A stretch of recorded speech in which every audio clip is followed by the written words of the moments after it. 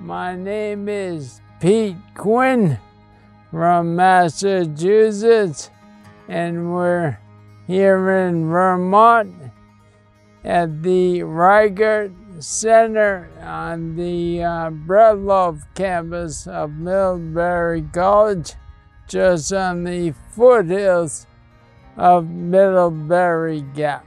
Today we're going to try some recumbent trikes and uh, have some fun on the trails here.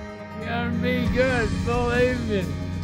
You're my inspiration, kid. Five, five years ago, I started to uh, notice symptoms and problems with my movement. Since that time, my ability to remain active, in which I've been my whole life, has really uh, been tested, shall we say. So I used to ski race in these mountains. I used to bike race in these mountains. And uh, since I got my disease, it always kind of hurt me to ride in a car on these beautiful roads that I used to ride and race on.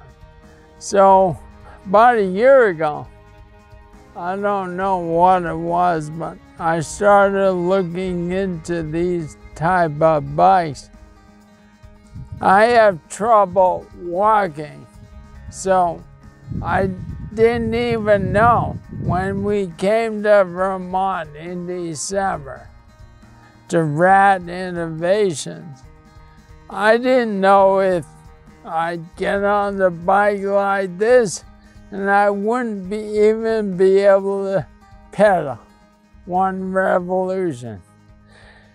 But came up in the dead of winter, excited.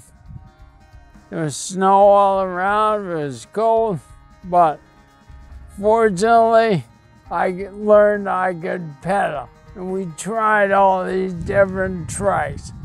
And I ended up with the Hase Kettwiesel cross steps, which is a uh, recumbent trike, disc brakes, full suspension, and battery assist. Okay, so that's key. Battery assist does not mean I sit back and I go for a ride. Okay, battery will not kick in unless I'm working. So I love that about the assist.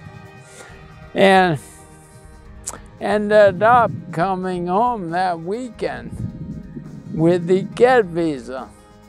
Since that time, I put uh, 1,450 miles on the Kettwiesel. Let's go up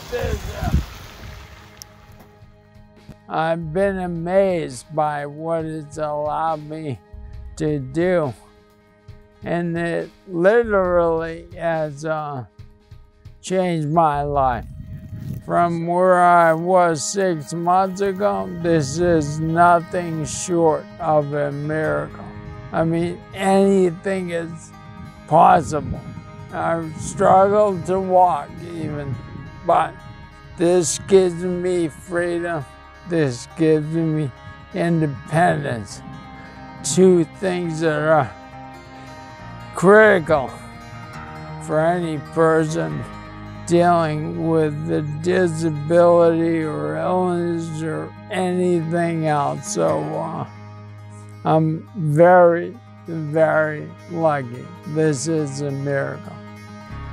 I laugh like a kid every time I sit down in the Kettwiesel, riding around with a smile and people saying, that looks like a lot of fun. Oh my God. Damn is. That innovation changed my life.